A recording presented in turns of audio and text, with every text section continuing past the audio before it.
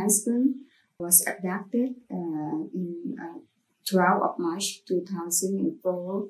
In my country, uh, we have no experience uh, to for the cases of enforced disappearance before. We have so many, many cases of enforced disappearance in the past, but uh, nobody can uh, submit the case to the court and impunity still remains. So this is um, um, first time of my struggle. For example, for my husband case, he's the human rights lawyer. And in the past year, uh, a lot of uh, human rights defenders and women, uh, they face uh, serious threat and intimidation.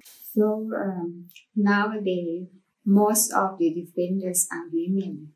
And when women uh, were uh, threatened, it is more complicated because uh, they have to face like the sexual harassment. So I think uh, this uh, this is uh, one thing that I'm seriously concerned. I experienced so many kind of threat and intimidation since many years ago when I struggle to stop enforced disappearance. Um, uh, it's very it's maybe very scared um, but uh, uh, anyway i'm until now i'm under witness protection program of the thai government but um, i i still uh, uh, uh, face the attacked by the social media. Last year for example i complained to the uh, technology uh, crime suppression division in Thailand at least two times, mm-hmm. but there's still no uh, uh, further investigation.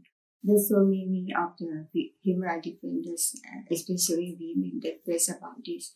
And the hate speech, uh, many times that the hate speech linked to gender-based violence or sexual harassment.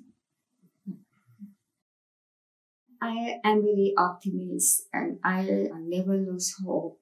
Yep. And I think that uh, if we work together, we have to network and we can improve many things in our countries. We need some uh, uh, some mechanism to ensure our safety. And I think that uh, now all the countries, on nations, uh, have to stop any kinds of violations.